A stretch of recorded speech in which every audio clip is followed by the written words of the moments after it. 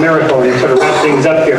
If we define a miracle as, as million to one odds, think about how much data that comes through our senses every day. We see and hear things happen about, let's say, one per second.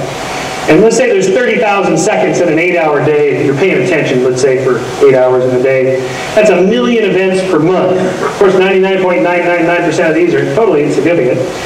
But you would expect about one miracle to happen on average once a month. And with the confirmation bias, you'll remember the hits, forget the misses, you remember the unusual, you forget the usual. Or death dream, same kind of calculation.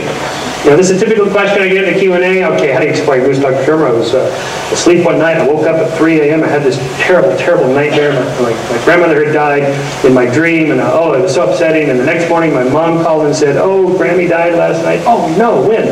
About 3 a.m. Oh, my gosh, you know, how do you explain that? All right, let's think about that for a second. Uh, we all dream every night.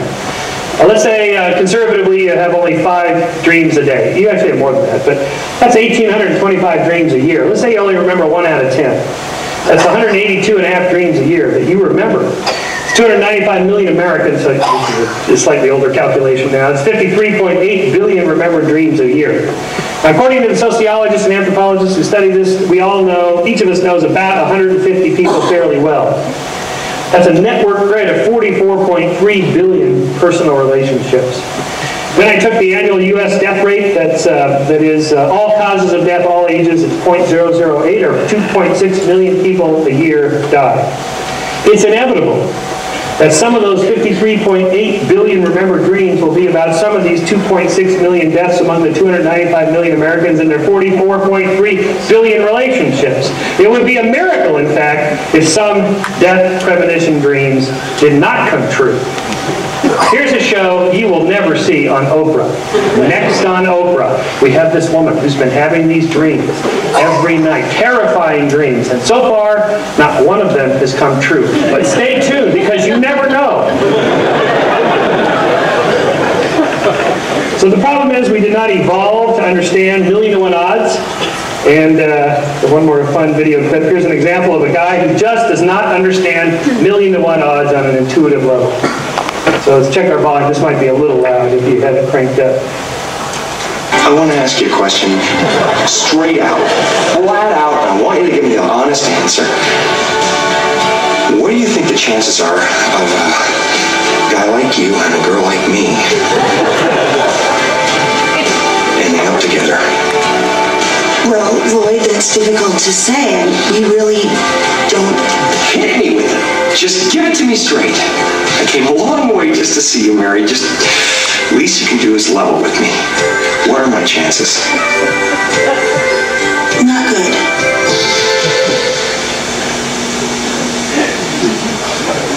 You mean not good like one out of a hundred?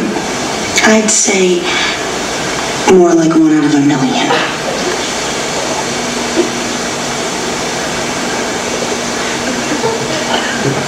So you're telling me there's a chance? Yeah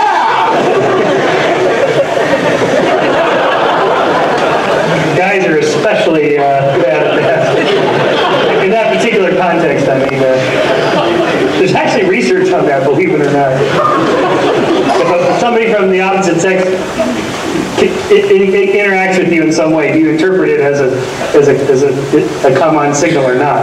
Guys are like ten times more likely to take cues as yes, I will, when she really meant no. Uh, a fun example of the confirmation bias when I was in uh, high school, uh, there was this whole mythology about Paul McCartney was dead. He was killed in a car accident. Uh, he hadn't noticed that the lights had changed. The people stood and stared. They'd seen his face before, but no one was really sure if he was from the House of Lords. It was all there in the music, the album covers, especially the uh, Sgt. Pepper's uh, cover that looks like a, a, sort of a funereal setting with the old Beatles on the left and the, and the, and the new Beatles on the right. The guy with his hand above Paul's head is a sign of death, sort of like a casket here. Or the Abbey Road where uh, they're all shoes, they all have shoes, but Paul is barefoot and they're out in step, but he's out of step, and he's got a, a cigarette, which is a sign of death. That turns out to be true. Uh, and, uh, and, John is dressed like a, the minister, and Ringo like the pallbearer, and, and George like the uh, grave digger, and uh, there's something in the back there. Look at that Volkswagen there. If you blow that up, It says 28 if. Paul would have been 28 if he hadn't died. If you look on the back of the Abbey It says three Beatles. See that? Three beetles. They're giving us clues. It's all there. There's the uh, skull. That's a skull. See that? That's Paul's skull there. Uh, these are all from a web page called paulisdead.com, of course. Um, and, uh, and so these are, again, prime examples of patternicity, especially if I tell you what to look for. Uh, and a nice example of both a, a visual and auditory priming, priming the brain, uh, is uh, the best example of this sort of backward masking from rock music. You play rock songs, there's several Beatles ones you can play backwards, like uh, Revolution Number 9 is Turn Me On Dead Man. Yes, you can Google Turn Me On Dead Man and you'll get that. That's what I titled this essay. But this is, um, so here I'm going to give you a sort of an example of this uh, from what is uh, uh, arguably the best rock and roll song of all time, uh, Stairway to Heaven. Uh, I'll play a part of it forward for you, and then I'll play a part of it backwards, and you have to see if you can hear the hidden messages, the, the he's in there. Okay, here it is forward.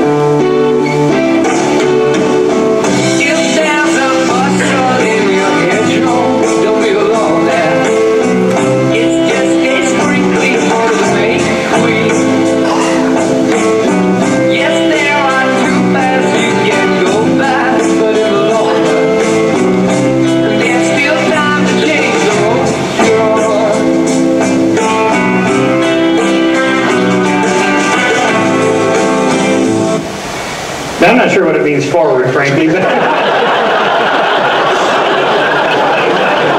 But, but, when I was in high school, this was a deeply meaningful song. Okay, so here it is uh, backwards without the visual prime. This is, you just have to see if you can hear the hidden messages.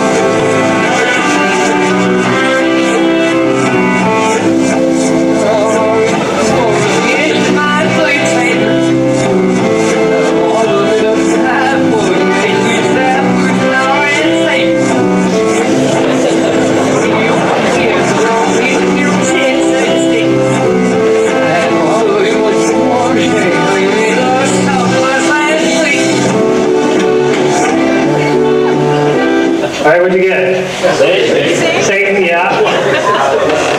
Hey, what? Six, six, six. My Lord Satan? Okay, that's good. I hadn't heard that one before. So what? 48 years. 48 years, okay. 666, good. Yeah, good audience, wow. Anybody from up there? no? Okay, all right, so here it is. Uh, this time I'll play it again backwards, this time with the uh, uh, words on the screen. So I'll give you the visual prime for the auditory patternicity here. And see if uh, now it comes a little clearer.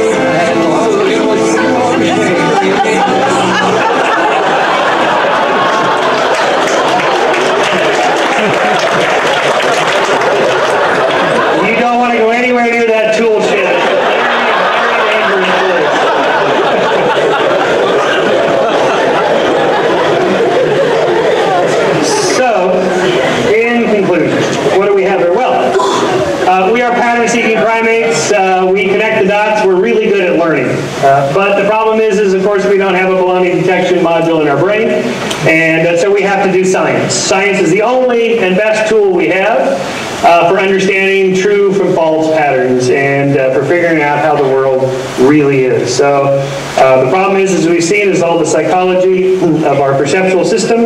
And so I'm going to end with a uh, one last video clip uh, that sort of captures this whole thing, the power of belief, the power of expectation, the priming the brain to expect the world to happen in a certain way when it doesn't. Here we go. This is the venue they chose for their fake auditions for an advert for lip balm. We're hoping that we can use part of this in a national commercial, right? And this is a test on some lip balms that we have over here. And these are our models who are going to help us, Roger and Matt. And we have our own lip balm and we have a leading brand.